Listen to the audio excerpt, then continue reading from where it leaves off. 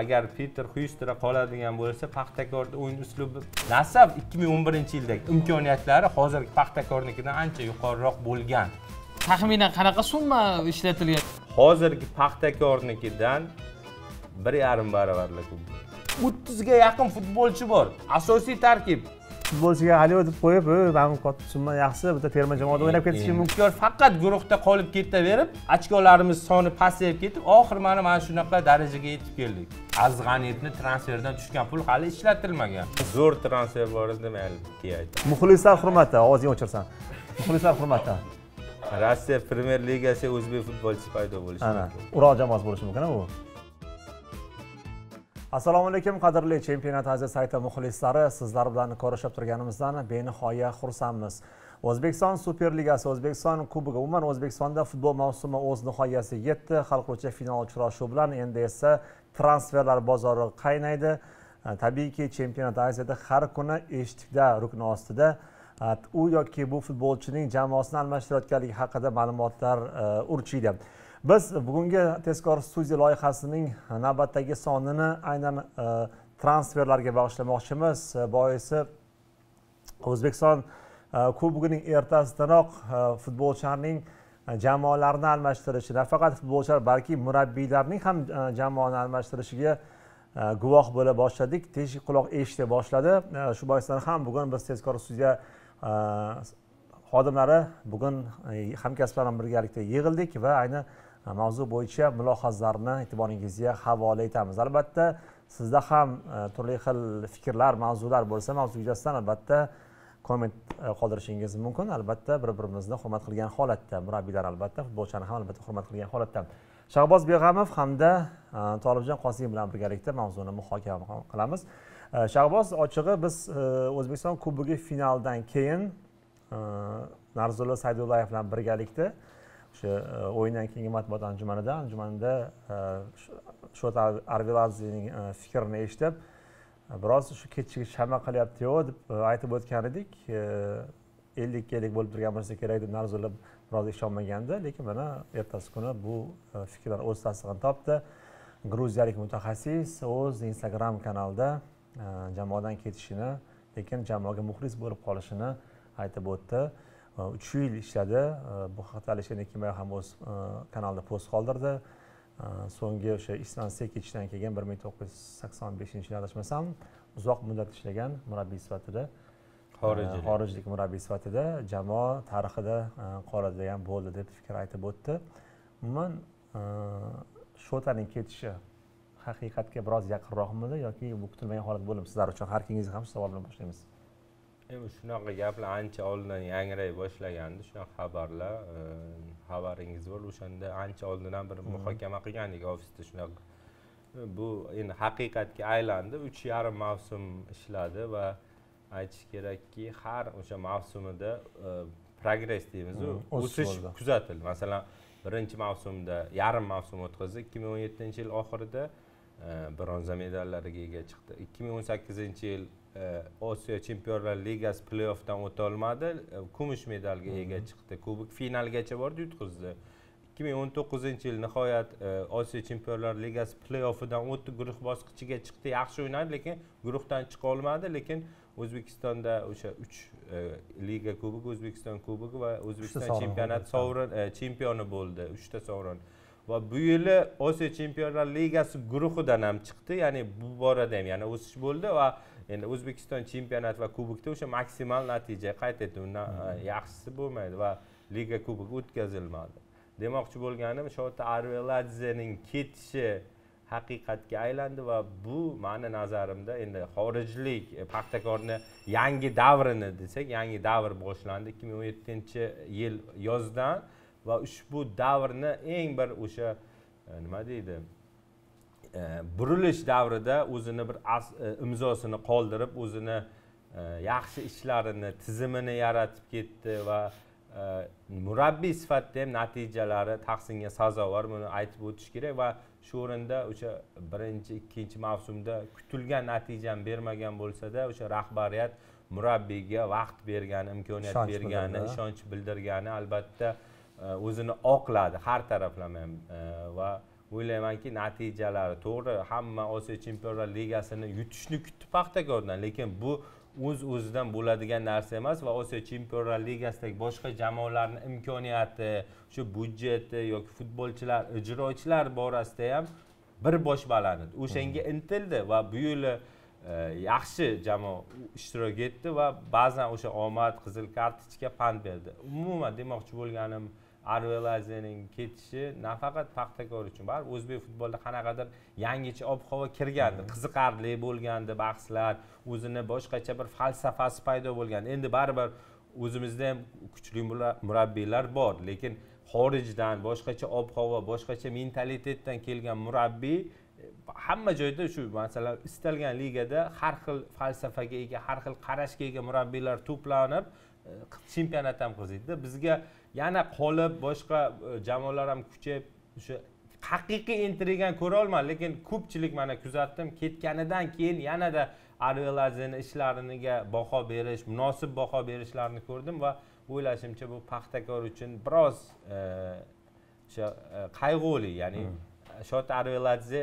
ishlagan davrida paxtakor uchun katta ishlar qildi deb bemalol aytish yo'qotish sifatida qabul qilsak bo'ladi yo'qotish albatta. jamoa uchun. Lekin vaziyatga realroq qaraydigan bo'lsak masalan bu yil paxtakor osiyo chempionlarini olishga haqli jamoalardan biri edi. Masalan al hilolni shu koronavirus sababli e, kuchsizlanishi amaldagi chempion sifatida e, yoki bo'lmasa al satning shu omadsizligi masalan. Shu jihatlardan olib qaraydigan bo'lsak paxtakor masalan o'tsa bo'ladigan jamoa edi raqiblaridan yo'q hozir real realroq dedingiz ya'ni realroq boshqa shu o'tgan hozir o'tgan ikkita mavsumga noreal fikr bildirma faktlarni asoslab faktlar lekin paxtakor bu yil e, chempion bo'lishi mumkin edi. Chempion bo'lmasa ham har holda shu haqli edi deyapsiz to'g'ri o'sha haqli edi deyishingiz ham baribir aytib o'tish kerak o'sha murabbiyni hmm. mehnati samarasi ya'ni haqli edi o'yiniga qarab ishtirokiga qarab shu omadsizlik bo'ldi haqiqatda. Lekin endi yuz foiz haqli edi deyish ham noto'g'ri baribir boshqa jamoalar ham bor edi. Hmm. faqat e, hilol yoki al sad emasu al ahli ham yaxshi qatnashdi o'sha yoki persepolis finalgacha bejizga baribir bormadi. Ya'ni paxtakor raqobat qila olardi lekin hali o'sha o'sha tayyor emasdida bu yil to'g'ri olishi mumkin edi pandemik hmm. sharoit bularni hisobga olsa lekin hozirgi paxtakor zo'r rivojlanish yo'lida lekin hali osiyo chempionlar ligasini yutadigan darajaga chiqmadi bu o'z o'sha asta asta pog'onama pog'ona qadamma qadam keldiyu u o'z o'zidan bo'ladigan jarayon emasda. Hali bor edi va yaxshi ish ketayotgandi. Hozir endi bilmadim hozir bir narsa deyish qiyin lekin paxtakor haqli edi va ololmadi deyish ham biroz noo'rinda hali yuz foiz tayyor emas edi endi endi kelayotgan hmm. Endi avvalambor e, paxtakorni o'sha ko'proq haqli edi degan fikringizga bu yerda mm, o'sha ikkita jamoa tilga oldizu avvalambor e, al hilol to'g'ri o'sha e, o'yinchilar koronavirusga birin ketin yo'liqqani sababli musobaqadan chetlashtirildi o'yinchilar qolmadi chetlashtirildi va al hilolni musobaqadan chiqib ketishini o'zi paxtakorga juda katta imkoniyatni kengaytirib yubordi. Chunki mani nazarimda o'sha bevosita o'sha qatarda bo'lib yoritdik o'yin nuqtai nazaridan olib qarasak paxtakordan faqat al hilol kuchli edi. Qolgan istalgan jamoadan paxtakor o'yin taraflama kuchli edi o'sha paytda va o'zidan kuchli bo'lgan yagona jamoa chiqib ketishi hmm. paxtakorni imkoniyatlarini oshirib yuborgandi. Masalan agar o'sha persepolisga qarshi o'yinda ham qizilgacha agar e'tibor bergan bo'lsak paxtakor allaqachon o'sha to'pni nazorat qilib ustunlikni o'z qo'liga ola boshlagandi lekin o'sha masharifni kutilmagandagi qizil kartochkasi hammasini buzib yubordi lekin aytmoqchimanki paxtakor o'yin tomonlama hamma jamoadan bir kishi bo'lib ham kam bo'lib ham yomon o'ynamadida qolgan daqiqalarda ham. Imkoniyat bo'ldi darvoza ustirgan tegdimi to'p menimcha o'sha uchrashuvda balki yana bir xato bo'lgandir. Murabbiylarni o'sha yugurmaydigan hmm. derdiyokni ikkinchi bo'limni yarimgacha olib qolishgani ham menimcha xato bo'lgani balki o'sha qizil kartochkadan keyinoq derdiyokni o'rniga boshqa bir yuguradigan o'yinchilarni qo'yish kerak edi. Yana hmm. boz ustiga derdiyokni o'sha qanotga qo'yib qo'yishdi yugurish kerak bo'lgan joyga yugurmaydigan derdiyok qo'yildi. Xullas E, kichik xatolarni sanasak e, ko'p e, sanab o'tishimiz mumkin lekin o'yin tomonlama haqiqatda bu yil paxtakor finalga munosib edi va agar o'sha qizil kartochka bo'lmaganda paxtakor bemalol finalga chiqqan bo'ladi chunki biz o'sha o'yinlarni kuzatdik va bevosita o'sha yerda jurnalistlar mutaxassislar yoki o'sha boshqa klublarni murabbiylari hmm. vakillari bilan ko'p suhbatlashdik ularni yuz foiz hammasi paxtakorni eng kuchli jamoa ekanligi jismoniy tomonlama ham o'yin tomonlama ham eng kuchli jamoa bo'lganini va o'sha finalga chiqishga e, finalga chiqish uchun yo'lda aynan paxtakordan xavfsirab turishganini yuz foiz hammasi ta'kidladi. Ya'ni birorta bir jurnalist yoki mutaxassis bo'lmadiki qatarda biz suhbatlashganlar orasida yo'q paxtakor favoritlar qatorida emas biz paxtakorni hammasi aynan paxtakorni eng kuchli jamoa sifatida e'tirof etdi o'sha yerda. Arveladze keyin mavsum yakunlari bo'yicha o'sha osiyo chempionlar ligasida ishtirok etgan murabbiylar orasida ham e'tirof etildi o'sha eng yaxshi bo'lishi nomzodlar qatorida bo'ldi. Bu ham albatta o'sha osiyo futbol konfederatsiyasining e'tirofi desak ham bo'ladi. Endi arveladze ketdi bugun adashmasam uchib ketdi gruziyaga turkiyaga uchib ketdi menimcha. Endi gap so'zlar paydo bo'lyapti. Uni o'rnini pyotr hyusti egallashi mumkin degan piter hyusti kelgan yordamchisi uning u bevosita shu osiyo chempionlar ligasida ham murabbiylik qilgandi. va bugun suhbatlashdik suhbatlarimizda hech kim bir salbiy fikr bildirmadi bu murabbiy haqida. Va kreativ murabbiylar qatoriga qo'shishyapti o'sha pressing qo'llab o'ynaydigan jamoalar sirasiga o'sha barselona uslubidagi jamoalar safiga barselona bavariyaga o'xshab ketadi bavariya desak u barselona uslub qolmadiyu. Yo'q piter xyustera o'zi butun dunyoda butun jahon futbolida bosh murabbiy va yordamchi. Yordamchi bosh murabbiy ham o'sha eng zo'r o'zi o'sha falsafaga yaqin o'ziga kerakli yordamchini oladi. Ya'ni aytmoqchi bo'lganim har bir istalgan klob deymizmi flikmi yoki boshqa boshqa deymizmi hammasini yordamchisi o'shanga munosib o'sha yaxshi darajada bo'ladi. Va qachondir ular keyin mustaqil ish boshlashi mumkin bu faqat yevropada bizda yo'q bunaqa narsa bormi? istalgan murabbiy endi haqiqiy murabbiylarimizni yordamchi murabbiylar bor. Hammasida. Ya'ni hammasida emasdir balki. Murabbiylarimizni deyapman. Hozir bilmadim hamma menejerlikdan ham murabbiyga o'tib ketayotganlar nazarda tutmayapman. Murabbiylarimizni hammasida o'sha yordamchi murabbiy bo'ladi. Hammasida. O'zi umuman jahon futbolida deganda osiyo ham biz ham kiramizda jahonga baribir lekin shunaqa bir nimasi borki xorijdagi murabbiylar ko'proq o'sha murabbiylarni o'zlari bilan birga olib yurishadiku. Shtab bizada ham bor bizda masalan bizda endi bitta ikkita masalan abramov bilan miftahuddinov aytishimiz bormi? Yana kim bor? yana endi o'zlari ko'chib yurishadi yordam yoqada bizni murabbiylarimiz yo'q qayerga borsin ular?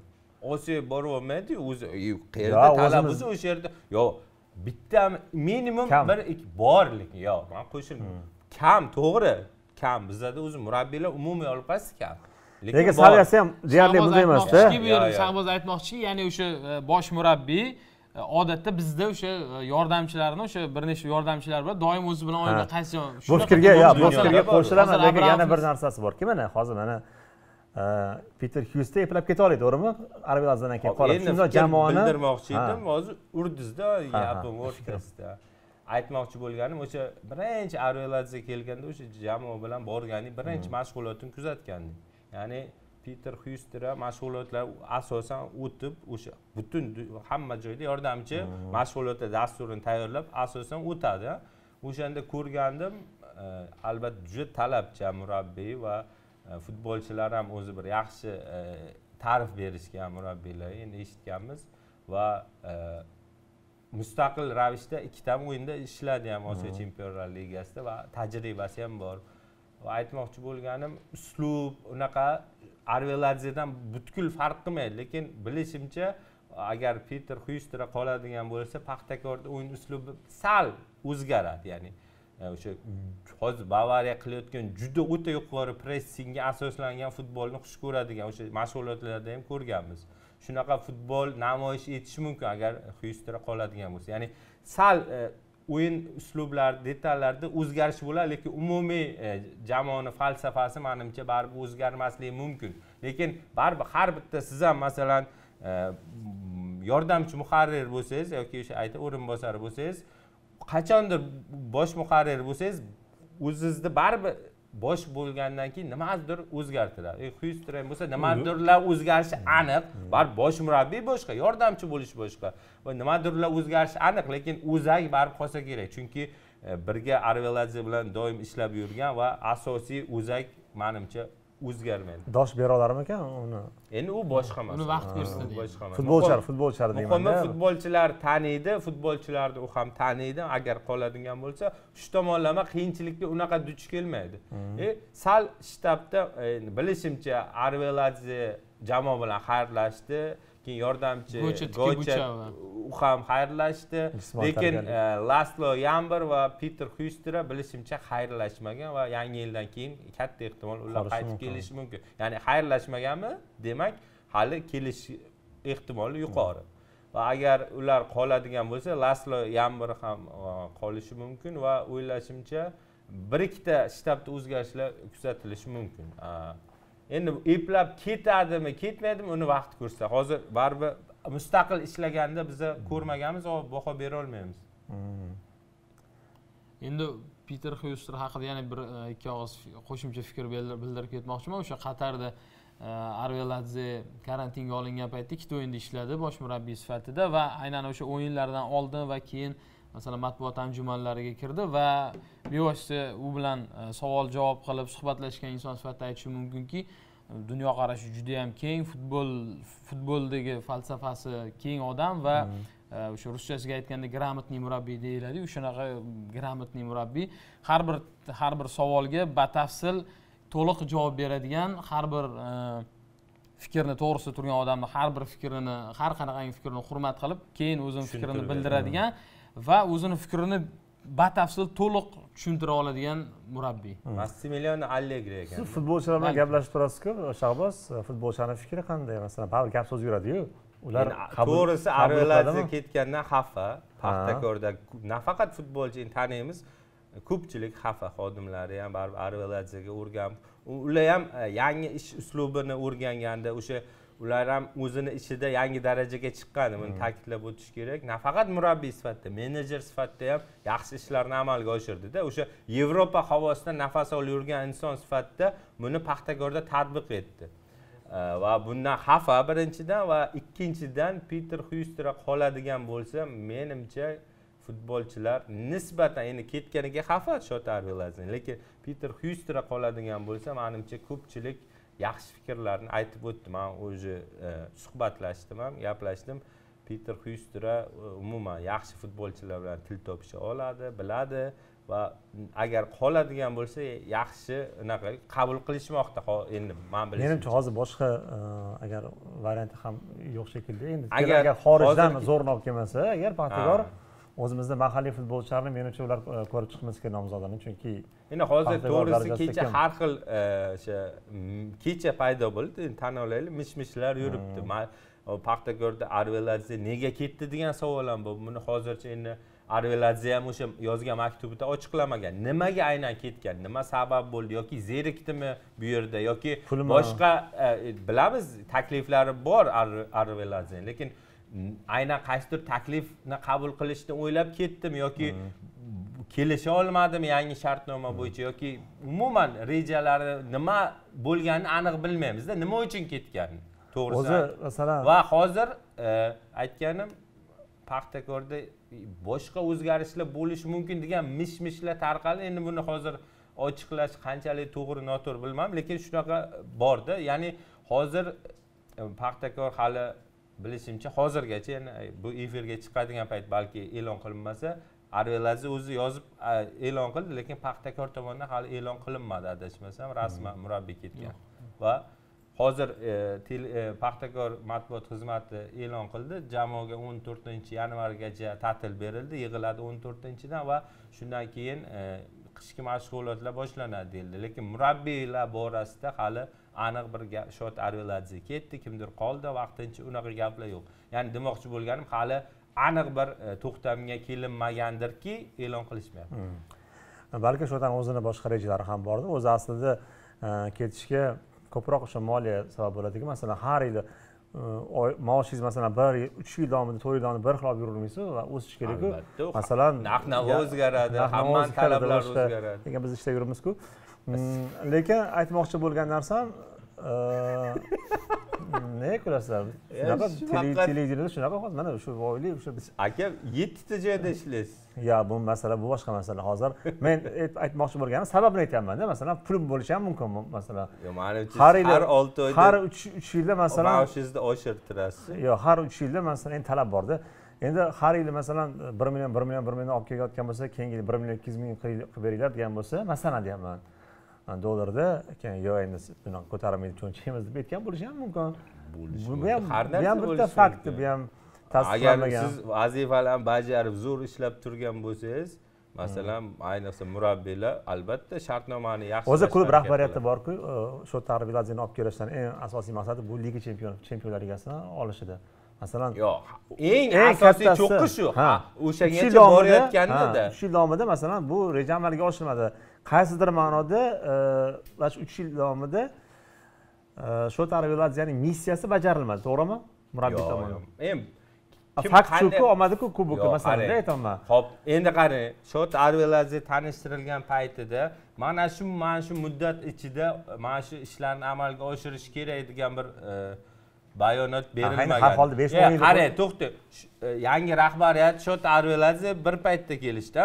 U- U paytdagi paxtakor bilan hozirgi paxtakor yer bilan osmoncha farq bor. Buni tan olish kerak va u paytdagi paxtakorni 2 yo 3 yil ichida Osiyo Chempionlar Ligasini oladigan darajaga chiqarish aka u sal realroq qaraylik o'tirib olib gapiradiganlar borki ular gapiraveradi u sal futbolga real qaraylik o'zi futbolni o'zini nozik anaqa jihatlari borda. U sizga paxtakor tap etib bo'ldi osiyo osiyoni birinchi raqamli jamoasiga aylanib qololmaydi hozir lekin man uch yil ichida osiyoni yetakchi jamoalaridan biriga aylandimi? Buni tan olish kerak aylandi. Yoki bunyodkorni eslaylik. Ikki ming bunyodkor endi ularda ham asta asta pog'onama pog'ona bo'lgan lekin sal tezroq ko'tarilish bo'lgan. Lekin bunyodkordagi imkoniyatlar bilan paxtakordagi imkoniyatlar baribir manimcha bunyodkorda nisbatan ancha yaxshi edi. Yoki ikki ming o'n birinchi yil nasafda ham zo'r imkoniyatlar bo'lgan. Nasafda o'sha missiya bajarilmagan ikki ming o'n birinchi yil. Chempion bo'lolmagan. to'g'ri ofk kubogini yutgan lekin ofk kubogi o'sha paytdagi o'sha nasaf uchun minimum vazifa edi o'sha imkon. Ya'ni aytmoqchi bo'lganim nasaf ikki ming o'n birinchi yildagi imkoniyatlari hozirgi paxtakornikidan ancha yuqoriroq bo'lgan. Pul jihatdanmi budjet jihatdan ham demyaninki ham o'sha payt uchun zo'r e, talab qo'ygan talablari bajarilgan. To'g'ri ofk kubogini tarixda ilk bor o'zbek klubi xalqaro maydonda yutgan. Bu o'sha unaqalar ishlarni yuvib ketgan. Agar ofk kubogini ham yutmaganda o'zbekiston chempioni bo'lolmagan ya'ni aytishadiki bunaqa tarkib bunaqa imkoniyatlar bilan "A, chempion qiladida deydi yo uzr sal. Gvardiola nimalar qiladi? Qanaqa transferlar amalga oshiradi? Fantastik ishlar e, transferlar summalar ishlatadi lekin har yili apelni yutolmaydi lekin liga chempionatda yarim finalga bora olmagan. Tasavvur qilyapsizmi? Endi qarang e, bu kuchli jamoalarni yig'ib o'tirishni o'zi bir ish va un natijaga erishish u muntazam chempion bo'lish. Endi o'zbekistonda istalgan u qilardi bu qilardi u noto'g'ri gapda. Oddiy misol ikki ming o'n birinchi yildagi nasaf chempion bo'lolmagan shunaqa imkoniyat bilan.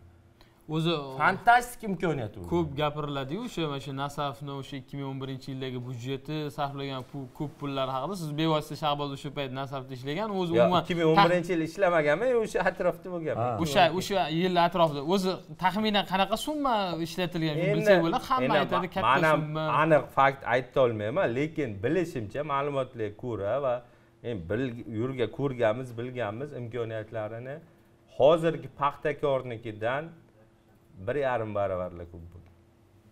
Tarkibni eslang hozir qarang. Paxtakor eng gegemon jamoamiz eng imkoniyat sharoiti zo'r jamoamiz. Gap yo'q. Lekin tarkibda teng kuchli ikkita tarkib bor a? bor yo'q emas. Lekin ikkita teng kuchli darvozabon bor. Oddiy misol darvozabonlar. Sanjar quvvatov eldorbek suyunov ha? Nasafdachi dmitriy kazachenko bo'lgan murod zuhurov bo'lgan mixail naumov bo'lgan. G'ayrat hasanov bo'lgan neftchida qanaqa gullagan? Eldorbek suyunov beshinchi darvozabon bo'lgan o'shanda. Beshinchi darvozabon. Himoyachilar markaziy himoyachilarimiz juda ko'p asror aliqulov boyan malishich sherzod azamov xayrulla karimov o'ynagan. Aliqulov.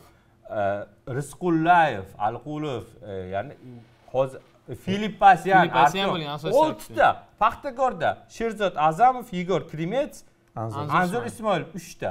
Farqni ko'ryapti. Tarkib u o'ttizga yaqin asosiy tarkib futbolchisi bo'lgan. Uni olib o'tirishni o'zi hisoblab ko'ring.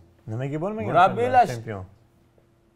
Bo'lolmagan. O'zi aytishadi nasafga chempionlik hani tuh deydiku ruslar shu ruh E, aka ay hamma narsani nima demoqchiman hamma narsani pul hal qilganda nasaf ikki ming o'n birinchi yil agar o'shanda o'sha Э, bizda har xil standartlar o'sha nafaqat muxlislar jurnalistlar ham har xil standartlarni qo'llashadida bitta standart bo'ladi. Bu zo'r murabbiy zo'r futbolchilar bo'ladida chempion deyish u nima buni ishini bir tillik qilishda nasaf shunaqa tarkib shunaqa imkoniyat shunaqa sharoit bilan chempion bo'lolmagan vaholanki agar o'sha mantiq bilan qaralsa pul hal qiladigan bo'lsa. Nasaf yigirma ochko raznitsa bilan chempion bo'lishi kerak. O'ttizga yaqin futbolchi bor asosiy tarkib aqlga sig'maydi. U tarkibni ko'rib hamma jinni bo'lib qolgan. Buncha futbolchini nima qilyapsizlar degan. Qayerga etdi shuncha puli deydiku yo ofk kubogini olgani o'zbekiston tarixida birinchi xalqaro klublarimiz ichida xalqaro sovrinni qo'lga kiritgan birinchi klub. Yaxshi ham ofk kubogini yutgan. Bo'lmasa demyaninka missiyasi mutlaqo o'zini oqlamagan bo'lardi. Keling bugun niyat qilaylik nasaf e, jamoasi birinchi klub bo'lsa agmk jamoasi bu yil ikkinchi jamoa bo'lsin shu ofk kubogini yutgan menimcha yaxshi chempionlar ligasi guruhiga chiqmoqchidir chempionlar ligasi guruhi ha ma- men kamida niyat qilyapman yaxshiroq niyat qilaylik agentga guruh bosqichiga chiqsin ofk kubogida nasaf o'ynasin yo masalan yaxshi niyat qilaylik ha albatta nasafga ham imkoniyat Muxlislar beraylik uchun uchta jamoamiz o'ynasin xalqaro maydonda O'ynasin. va o'zi kvotalarimizni ham oshiraylik eslaysizmi ikki plyus ikki bo'lardi nasaf bunyodkor paxtakor lokomotiv qatnashardi o'sha kvotalarimiz bunyodkorni e, polfinal yarim finalga chiqishi e, qosimov yana kim edi murabbiy radu mana shularni jamg'arib bergan ochkolar evaziga edi. Keyinchalik nasaf bunyodkor faqat guruhda qolib ketaverib ochkolarimiz soni pasayib ketib oxiri mana mana shunaqa darajaga yetib keldik. Ya'ni futbolda pul kerak lekin pul hamma narsani hal qilmaydi. Buning uchun oddiy misol va oddiy nasaf yoki navbahor hamda navbahorda qanaqa muxlislari ajoyib fantastik imkoniyatlar sharoit zo'r. Lekin qani har yili o'rtada yuribdi. Qani bunday imkoniyat bilan? Ya'ni pul hal qilganda navbahor ham chempion ham bo'lishi mumkin edi. Zo'r pul to'g'ri pul ta- to'g'ri taqsimlab to'g'ri e, sarflash ham kerakda. Shu Albatta. oxirgi man arveladze man rahbariyat imkoniyat bergani ishonch bildirgani sal sabr qilgani oddiy misolda sal murabbiylarga imkoniyat berish kerak ishni to'g'ri yo'lga qo'yish kerak tizimli ketish kerak va pog'onama pog'ona bo'lishi kerak. Atkat qilish kerak emas.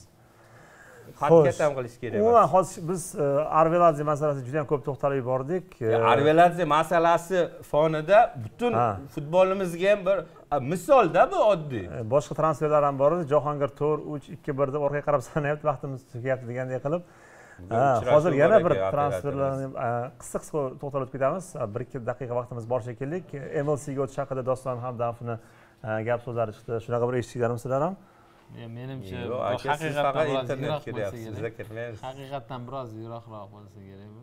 Amerikaga. Ya, man to'g'risi bu haqda umuman ma'lumot o'zi amerikaga yoshi o'ttizdan oshgan futbolchilar yulduzdan chaqirishadiku. Endi u yulduzlar. Hindistonga o'xshab hindistonda shunaqa yo'ldan boryapti hozir E, yoshi o'tgan futbolchilarni chaqirib e, futbolni darajasini ko'tarish. Igor sergeyevning jamoani tark etishi haqida hujumchi chizig'i vakilini ko'p gaplar bo'lyapti. Tailand yoki janubiy koreyaga yo'l olishi E, bundan tashqari boshqa futbolchilarimiz haqida ham kremetsga ham menimcha takliflar bor E, bugungi kunda. Aka paxtakor istalgan futbolchisi ketaman desa takliflar takliflar takliflar bor aniq takliflar ham bor. Bu holatda paxtakor biroz kuchsizlanib qolmasmikan? Yana nasaf futbolchilariga hujum bo'ladi shekilli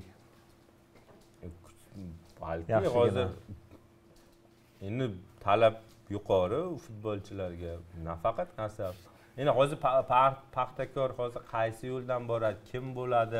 U murabbiyni kimlar kerak? Uni futboliga tushadigan hamma narsa murabbiyga bog'liqda baribir. Uni o'sha murabbiyga qaysidir futbolchi kerakmi yoki e, agar masalan o'sha kuzatib borayotgan paytda shu tarbiyalachiga o'sha o'yinchi kerak edi o'shanga og'iz solib yurgan bo'lishi mumkin. Endi hozir bu futbolchiga balki boshqa futbolchi kerak bo'lib qolishi mumkin. Lekin paxtakor oladigan taqdirda ham e, ko'proq nasaf ketib bora qaratadi o'sha nasaf o'zi ba'zan komandaga ham qoldiku futbolchi yetishtirib beradigan paxtakorga. Oxirgi paytlarda agar mana shu yaxshi futbolchilar har doim e, taklif talab bo'ladida. Yaxshi futbolchilar bormi? Demak takliflar bo'ladi bu holatda e, raqib o'sha paxtakorga jiddiy raqib ko'rsatishi mumkin bo'lgan jamoa kuchsizlanadi yana paxtakorga gegemonligi o'sha ikki ming birinchi yildan yana qaytib kelyapmiz yana yo endi nasaf ham olib qolsinda. Olib qolsang Endi- shartnomamizni Nima u? muddatini Qanaqa uzaytirib olib qo'yiladi? Masalan, u- klub qanaqa masalan- nasabda hamma tizim yo'lga qo'yilgan yo'lga hamma narsa qo'yilgan lekin endi ishlash kerak. bitta futbolchiga haliyov deb qo'yib "Ey, mana katta summa yaxshi bitta terma jamoada o'ynab ketishi mumkin deb uni shuning uchun uni shuning uchun miyasiga nima qiladi? direktori, menejerlar ishida endi. Endi o'sha Paxtakor beradigan- uzaytirib qo'yish hop kerak. Paxtakor beradigan maoshi masalan nasab bera olmasligi mumkin deb istalgan futbolchi masalan kattaroq maosh- taklif qilinsa masalan abdazga ham bir boshqa sayt taklif qilsa o'tib ketadi. Saytga kattaroq summa Shunga o'xshagan narsa. to'g'ri to'g'ri. Lekin futbolchilar nasabdan chiqqan ular bilan o'sha muzokara qilib uni aka futbolchi xizmatini qilib qo'ydim natija beryaptimi? Uni ham anaqasini qondirish kerakda shartlarini. Qaysidir payt ko'proq berish kerak. Nasabda ham ja pul yo'q emas azg'aniyevni transferdan tushgan pul hali ishlatilmagan. U turibdi endi futbol agar raz "A, bizni futbolchilar ketib qoldi u qoldi emas ishlatish kerak ishlash kerak bu yerda faqatgina olgan kam- olgan jamoani ayblamaslik kerak berib yuborgan jamoani gapirish kerak. Nimaga? Nasab masalan bazasi yo'q akademiyasi yo'q unaqa bir talab ketilgan jamoa bo'lib qolmaydida nasab o'zini tizimi bor o'zini poydevori bor nasab ketsa ham yana nasafligicha qoladi o'zgarmaydi jamoa lekin o'shani yanada kuchaytirib yanada jiddiyroq vazifalarni bajarish kerak. Imkoniyat bor qilish kerak. Aynan mana shu nuqtada bugungi dasturimizga yakun yasaymiz. O'ylaymizki biz e, haftada kamida ikki uch marta mana shu- mana shunday chiqishlar amalga oshiramiz. Boisi endi transferlar boshlandi bu yoqqa qaynaydi u jamoadan bu jamoaga o'tishlar e, to'xtab qolish yo'q E, xullas. Zo'r transfer bor edi mayli keyin aytaman. Ayting sekin. Endi tugatyapmiz mayli mayli imkoniyat bitta anons qilib ketaylik qaysi qaysi jamoaga o'tishini biz tez qilib keyingi keyingisini tez bo'lishini aytmay hozir hozir qaysi jamoaga o'tishini. qaysi jamoadan qaysi jamoaga o'tishi mumkinligini. Keyin aytaman. Hozir bitta ayting odamlar qiziqib qoldi endi muxlislar hurmati. aytsam bo'ldi son qaysi bir jamoalarni aytib qo'yaylik bo'lmasam muxlislar hurmati ovozingni o'chirsan muxlislar hurmati. Rossiya premyer ligasi o'zbek futbolchisi paydo bo'lishi mumkin. Ural jamoasi bo'lishi mumkin u kim? Ural jamoasiga. Klub haqida gap ketmadi hali. Mana ham eshitdim shu xabarni? Ural jamoasiga o'tishi mumkin bir futbolchimiz. Bizni kuzatib boring tezkor studiya eng saralarini taqdim aytib etadi o'zingizni ehtiyot qiling